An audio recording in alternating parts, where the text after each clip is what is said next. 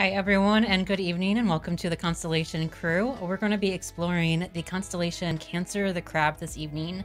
Uh, but before we do, we have this exciting new image of a black hole to explore with the crew tonight. Um, so let's go ahead and jump right in. Crew, We remember seeing an image kind of like this a couple years back? Looked almost just like that. yeah. Yeah. Almost exactly. Almost a little fuzzier, but yeah. Yeah, almost a, a, little fuzzier. Okay, so let's let's see that one that was released about two years ago. Um, so this is a newer image of this image right here. So this is a real picture of M87's black hole. M87, what is that, crew? I believe it's a uh, supermassive black hole at the center of the galaxy M87.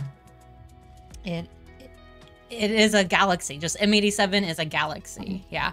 And then the black hole is that supermassive black hole at the center of it. Um, but this is M87 compared to our solar system. Uh, so you can see the sun at the very center here. And then here is this circle that's representing the orbit of Pluto out in what we call the Kuiper belt of our solar system. And then Voyager 1, a space probe that was sent out many, many years ago and has reached this distance from the sun. All right, so of course, Voyager 1 is nowhere near this black hole in this galaxy M87, but um, you can kind of get a sense of scale. Like, black holes are huge and they're really massive. They have so much gravity that nothing can escape them, not even light. However, there is some material that can get pulled around the black hole due to that gravity and get swirled around it so fast that it emits light. And we can see the light that it emits um, using really good telescopes from here on Earth. Really, really good telescopes. Actually, eight of them located all around our Earth that basically create a telescope as big as the Earth to get a picture like this. Because this galaxy, this black hole, is really, really far away. Does anyone remember how far away it is? How far away is this black hole in M87? So Melanie and Greg, you were at um, one of our in-person programs last night, and we explored this um, with Ball State students. It was millions of light years away, over 50 million light years away. So really, really far. Um, and remember, a light year is just a distance light travels in one year, about 6 trillion miles times that by 50 million. Um, it's a really, really large distance. Uh, so to see something like this is quite amazing. Um, see this detail. And this was the only picture of a black hole that we had for a long time until we got this new one here. Uh, Melanie, do you remember um, what you thought when you first saw this one? I thought it was like fake because it looks kind of fake. I think it looks fake too. Um, yeah, it looks like an artist depiction. Yeah. But it's real. Um, yeah. It's the same black hole, but it's looked at a bit different. And so you can see these kind of bands here. It kind of looks like a shrimp almost. Someone uh, actually overlaid a shrimp over this. Um, uh. But it's uh, it's a view of this black hole in what is called polarized light. Mm, just like how sunglasses will polarize light um, to cut down the brightness and the glare from the sun and other light around um, you, when you wear those sunglasses, scientists can and look. Uh, excuse me. Scientists can look at objects and use polarized light to cut down the glare and get more information about the object. And so, what what are these maybe representing here? What is this detail showing us? Because um, to back up, this is a black hole. The area in the middle is black because it's so, the gravity here is so powerful, nothing can escape this region, not even light, the fastest thing in our universe. But there is material going around the black hole, light that's lit up here that we can see and observe. Um, but why these gaps in this polarized image of the black hole? Does anyone here know? What this so might be showing? I, I know the answer, but but originally when I walked when I looked at it, I thought maybe it was um, a picture of some of the like a, the trails of some of the things that were actually pulled in. Hmm. But I thought it was originally. I think at this point, the material being pulled in would be basically like down to the atoms. You know, Yeah. It's it's so powerful, and we got what's a lot of spaghettification happening around here. Big Um, word. Yeah. What scientists call what happens when things get too close to the black hole because it gets stretched out. And when they get stretched out, they end up looking like spaghetti. Um, so they call it spaghettification.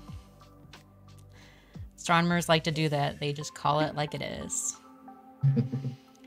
uh, so what what actually is it, Greg? Uh, so the, the magnetic field lines Yeah. for the so- black hole. Yeah. Yeah, they're magnetic field lines that's representing or giving us information on the magnetic field lines. And the magnetic field lines will um, actually do, um, or excuse me, are really powerful and they will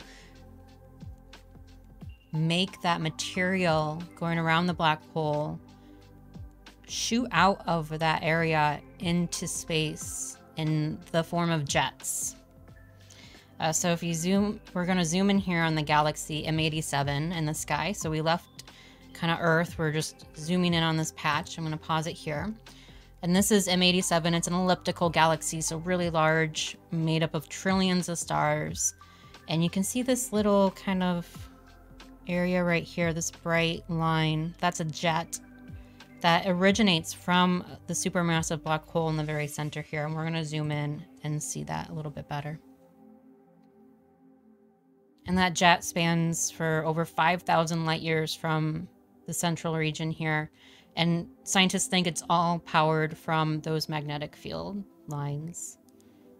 So is that like perpendicular to the black hole, like coming out towards you, sort of? Kinda, yeah. Um, So there's like, it's perpendicular to the accretion disk. Um, Okay. So there's the accretion disk, and then the magnetic field lines, they think, shoots it out um, perpendicular to that. It reminds me a bit of uh, pulsars and uh, how their magnetic fields can can you know affect what affect uh, you know the photons that they're emitting. So Yeah, um, there's similarities, uh, I think, with that, and and perhaps that's another way of helping scientists understand what's going on with these black holes, um, because uh, again, they're just really hard to observe. The one in our solar system is not an active black hole like this one here. That means it's not actively taking in material um, in a way that we would be able to see it, like here. Um, there's no jets or anything like that. Uh, we typically see active black holes, um, what you sometimes hear referred to as active gal- galactic nuclei, um, in galaxies that are farther away. Um, when we look farther away in space, we're looking back into time. Um, when the universe was smaller, because remember, the universe is expanding, things at one point were much closer to each other. And when that was, you know, the case, material was closer to each other in general, and material could come into these black holes and really feed them, fuel them, and um, we would see the effects of all of that. So when stuff was closer, you just had more chance for objects to fall into black holes, like this one in M87. All right, so M87 is in another constellation, not the one that we're exploring this evening. Um, M87 is in the constellation of Virgo, the Maiden. But Virgo is one of the constellations of the zodiac, and we're going to be looking at the zodiac this evening because the constellation we're exploring is Cancer the Crab, and Cancer the Crab is a part of the zodiac constellations. Uh, you might have heard about the zodiac because of horoscopes and all of that good stuff. Um, but scientists, astronomers do actually talk about the zodiac as well, and there's um, actual astronomical reasons um, why that is, and we're going to explore that today. But first, let's try to figure out how to find Cancer the Crab. And Caleb's going to help us with that one. Um, Okay. Why don't we do a little bit of a review, though, Caleb, first? All right. So, um, as we've talked, as we've shown in our previous shows, um, we've uh, we've we've covered constellations in the um, place known as the Winter Hexagon. Um, constellations such as Orion, uh, Monoceros, Gemini, uh, and Canis Major, and we'll be using some of those constellations to help us find uh, a couple of those constellations to help us find uh, our um, Cancer today. Yeah, So, we have, uh, uh, we have uh, Orion here. So Orion's probably the easiest one for people people to find. Uh, this is the sky right after sunset here in Muncie, Indiana. Um, and so Orion's kind of low in the sky in the south southwest um, around this time of the year. But to find Cancer, we're gonna have to go up a little bit higher in the sky, right? Up to Gemini the Twins, which is up here.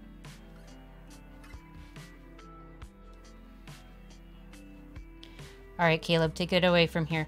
Um, All We have these two stars, right?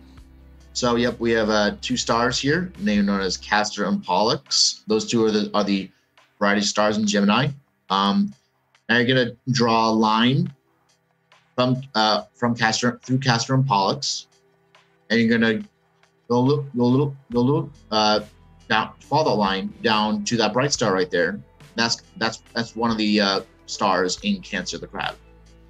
Yeah, and the size of the dots here, the stars in this simulation, um, are representing the brightness of them. And so these dots are kind of small. That means they're not too bright of stars in the sky, not like Castor and Pollux up here, part of Gemini the twins. Uh, so Cancer is actually kind of hard to find, but if you can find maybe like Orion and look off to find Gemini, you can maybe use Castor and Pollux up here to get to Cancer. Cancer is also by a bright star over by kind of where the moon is this evening called Regulus. And Regulus is a part of a constellation we're going to explore in just a couple weeks, Leo the Lion. Um, so there's a bright star off to the east of Cancer the Crab, and then two bright stars off to the west of Cancer above Orion. It's always easy to use um, or easier um, to find the constellations when you have an app on your phone or a sky map to help you navigate the sky. All right, so uh, Nicolette's putting some great definitions in the chat. So if you um, need a reminder or refresher of what a constellation is and some of the other terms, check out the chat to uh, find all that information. And if you have any questions for us during this presentation, um, just put them in the chat. We'll get them answered there. Okay, so Cancer, it's a part of the zodiac. What's the zodiac? Why is it special? Why do astronomers care about it? Um, well, let's switch our view to today, um, earlier today, about what, five hours ago. So around noon. And in our simulation here, I brought up all the constellations of the zodiac. We have Pisces here, we have Aries, Taurus, Bull, Aquarius. And in Pisces, we have this bright object here that, of course, is the sun. All right, so the sun's here in the sky. It's shining really bright. And because of our atmosphere or the air surrounding our planet, the sky is shining blue. But we can actually get rid of the atmosphere in the simulation so that we can really explore the sky. And when we do, we can see the sun at the same time as the planets, the bright star looking objects here, as well as, of course, the stars. When we explore the sky, we tend to speed up time so we can show the sky over the course of an evening.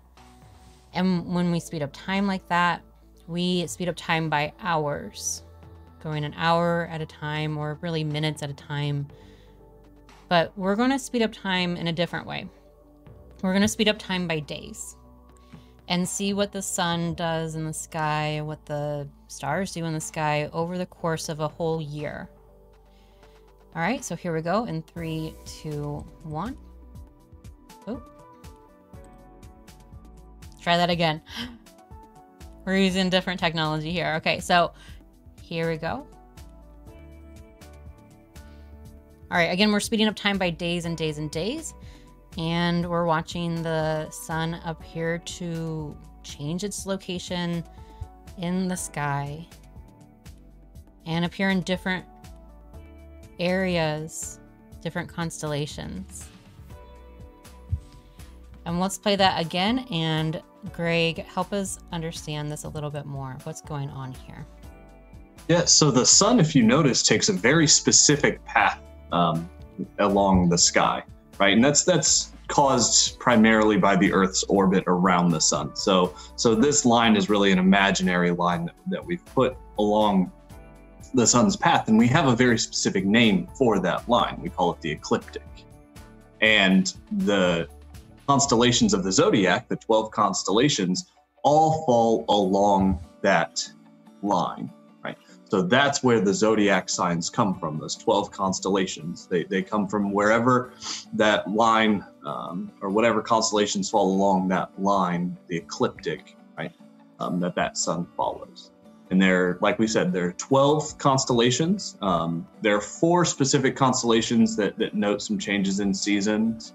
Um, and we've actually already kind of discussed two of those constellations um, in previous constellation crews, which were Taurus and Gemini.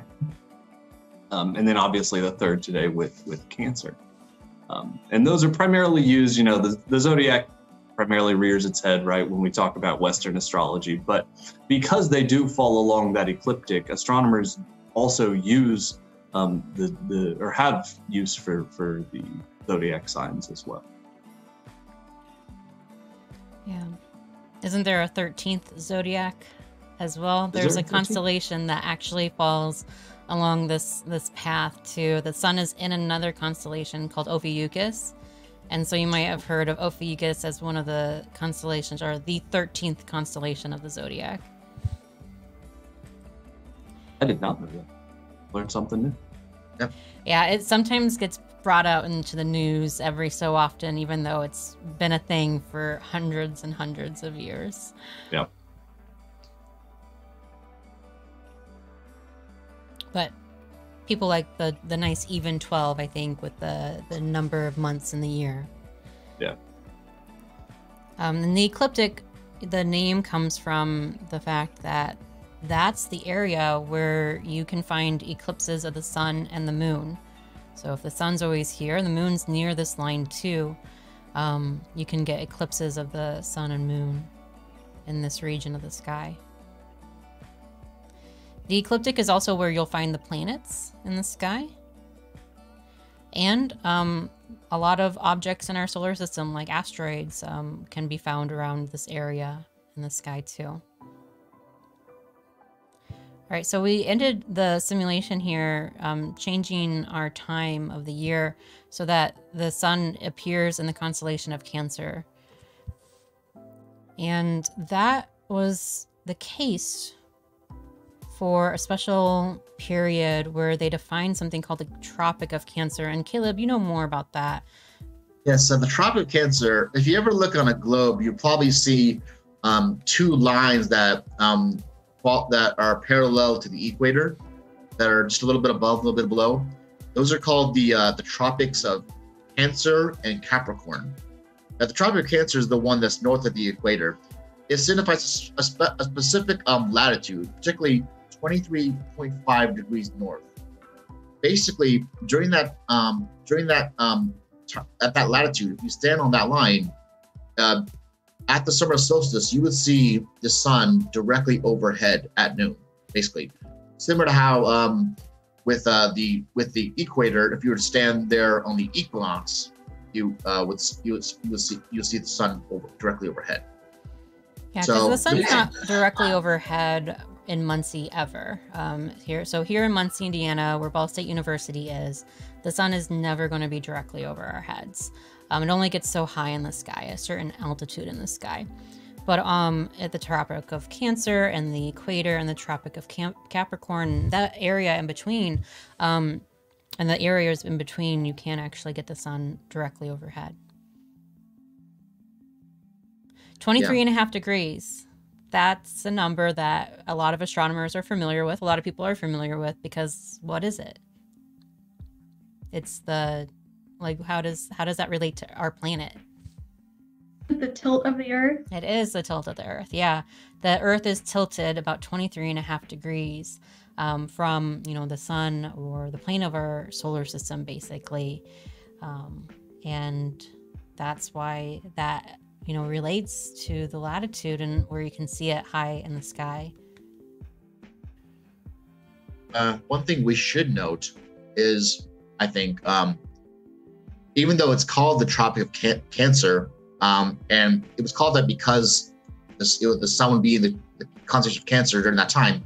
Actually, now in the summer solstice, the sun will be in the constellation of Taurus, because remember the zodiac, the zodiac as we know it, um, was developed about three thousand years ago. So this, due to precession, uh, the, the the position of the sun during like the equinoxes and the solstices was a little different now. So. Yeah, things have shifted a little bit. Yeah, and precession, um, for people who aren't familiar with that term, um, some people explain it as the wobble of our planet. So our Earth, it spins on an axis, but as it spins on its axis, it also can kind of wobble. Some astronomers hate that term, um, the wobble, but it, you know, it kind of makes sense if you think about it. Wobbles like a top. Um, and due to that wobble, you can see the sun appear in different locations in the sky throughout the year too. Um, or things just kind of shift in the sky, I should say. All right, so there's um, more to this constellation than it just being a part of the zodiac and being something you can observe in the sky. Uh, there's a deep sky object. And Melanie, tell us all about that. Okay. So if you were to go outside and take a look um, in Cancer, right about in the middle there, you would see maybe if you were lucky, just a fuzzy little smudge. But if we were to kind of fly in and take a closer look, we would see a swarm of stars, and this is the beehive cluster. So we like to think of them as a little swarm of stars. And all of these stars appear to be kind of connected in some way, and that's because they are a star cluster. And a quick review a star cluster is really just a group of stars that are bound together by gravity. And this specific cluster is an open cluster, meaning it's a little bit more loosely bound. It has fewer stars than what we call globular clusters. So this specific one is an open cluster of about a thousand stars. So that's, you know, still not few stars. That's still pretty significant. Um, but the diameter of this in the night sky is about the width of three full moons. But of course, it's still not especially bright just because space is so large.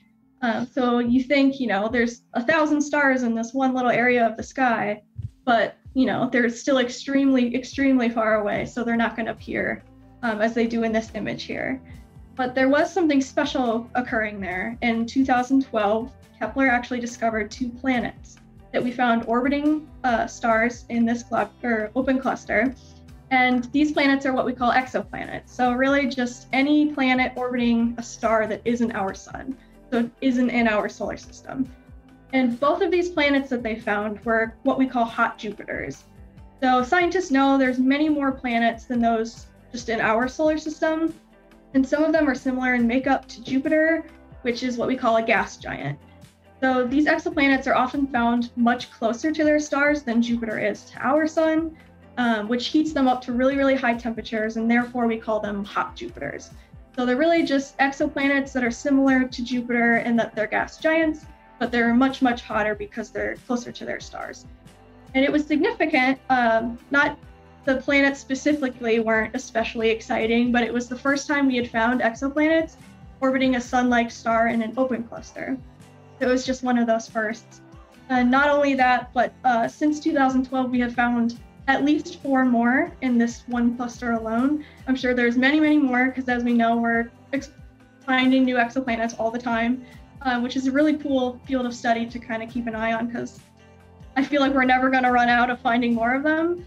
Um, and in ancient times, if they couldn't see this cluster in the night sky because you know they didn't have light pollution like we have now, they would think of it as kind of a sign that a storm was coming. And I read that and I was thinking, like, oh, that's really interesting. And then I was like, who did they ask? Like, did they just like call somebody up? Like, I don't know. I'm like, I mean, that's like a really cool fact, but I'm like, I wonder how they learned that. Like, if somebody wrote it down or I don't know. I just think that's cool.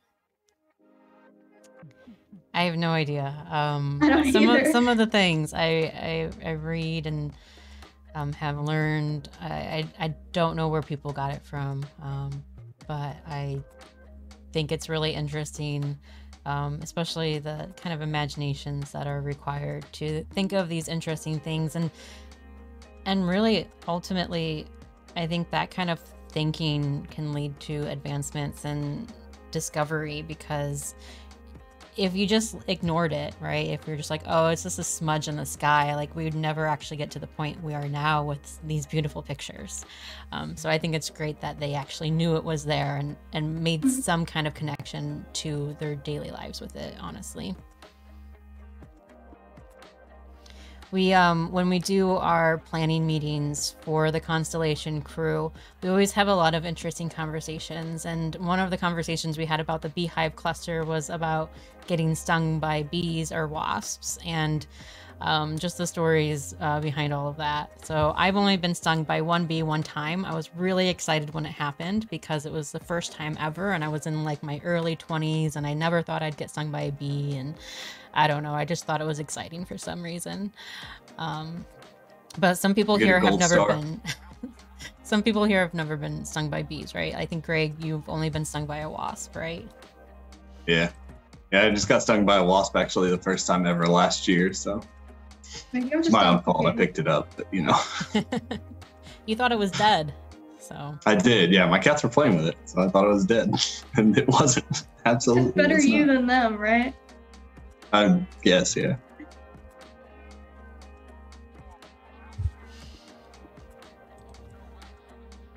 All right, we're going to wrap things up with the mythology and stories about cancer, um, the crab. Why is it called cancer? Caleb, did you uh, learn about that in the first place? Um, I mean, I'm not sure about the origin of the name cancer, but I found out a bit about its the story behind the story about the story about the mythology. So, um, cancer appears, you know, actually is related to our la- to I think last week's constellation of Hydra, because um, actually um, when uh, we as we remember from last week, uh, um, the Hydra was killed by the hero Hercules, and uh, when he was fighting the Hydra, uh, Hera, who was the wife of Zeus, and for pretty much trying to kill Hercules all his life because he was Zeus's illegitimate child. Uh, she sent the crab to basically kill him while he was fighting the Hydra. So he basically had to fight two monsters at the same time. So after he was done killing the Hydra, he basically smashed the, the crab. And Hera, to basically honor the crab's, I guess, obedience and sacrifice, basically put it up at the stars. So okay, but how big was this crab and how did it Hey, I don't think compare? I'd they crab. don't really, they don't really say exactly how big. I mean, What was but it special about it? Like, why this crab? Because Hydra was like what, like an eight, nine-headed snake beast, and then you have a crab. Like, I just don't, I don't get Well, We it. got some pictures. Not every, Sneaky. not every not every monster is gonna be like you know you know some imaginative beast. I mean, if you look at another beast that Hercules killed, uh, uh, uh one called the uh, the Nemean lion. I mean, he you know it was it was just a lion. Or if you look at um, another uh, beast that he encountered, he actually had to clean out the stables of uh, of uh, of flesh eating horses. So I mean, Hmm. Maybe it was Those- just supposed to pinch him and distract him for a minute. Yeah, maybe it's a Exactly. speed thing. Just get him. just you know make him make him stumble. Then the He wasn't wearing green. It was St. Patrick's Day. It's his own fault. Yeah, Uh, yeah, maybe it's like a speed thing. Like, um, you know, when you're playing fighting games, you can get like a really slow, muscular person, or you can get a fast and speedy person. Well, imagine imagine if you got if you got you know pinched by a crab. That's gotta hurt a lot. It's the last thing you need when you're fighting a, a snake with multiple heads, I suppose. that little mean, distraction. Fair. I mean, is, there, is everyone, everyone ever everyone ever been pinched by a crab? I mean, that that might hurt. I mean, probably as much as getting stung by a bee. I've So never been pinched by a crab. I don't think I've even had the opportunity to. Like bees, I've been around a lot of bees, but I've never been around a lot of crabs. I feel like that would be scarier than bees, honestly. I mean, like- a lot of crabs. Like when you buy like when you buy like live crabs at the at the at the to, to, to cook. I mean, usually they have like their their pincers, you know, tied together, Tied right? Together. Yeah. So Hey, man, they are the they are the uh, spiders of the sea, right? oof, I hate spiders. Well, think about that next time you look at a crab. you know, crab. I'm I'm okay with the crab. I mean, I just can't eat them. What are these um, kind of circles in this drawing? This drawing comes from the 1800s. Um, we usually end with one of the drawings from the 1800s in this set. And I don't know why they have, I don't want, I don't know. I wonder what these are. Maybe they could see more stars. You know, when they were after the telescopes, they could see more than just the major stars in the constellation. Well, there's a lot of stars here that are not in our little sky map here. Um, so going back to our sky map, just to wrap it up here, how to find Cancer, it's in between the two stars that make up the heads of the twins of uh, the constellation of the twins, the uh, Gemini, excuse me. Um, so we have Castor and Pollux. And these are a part of Gemini. And then down here we have Regulus, which we're going to explore more next week because it's in, not next week, but the week after next week, um, because it's in the constellation of Leo the Lion. Okay, so we have Regulus, we have Castor and Pollux. In between those bright stars is a faint constellation, Cancer the Crab. And in the drawing here, we have lots of stars, though. Like way more than the one, two, three, four, five stars in the sky map here. But, you know, if you know where to look, you can still find maybe one bright star, and that's all you really need um, to help you find the beehive cluster. And Melanie, you can't see this during, um, or you can't really see it with your eyes well, but you can see it with binoculars, right? Yeah, binoculars and low power telescopes. That looks really good. Okay.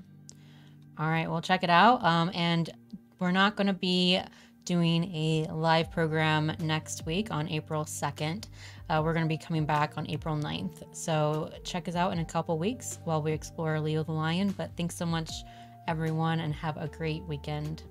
Take care.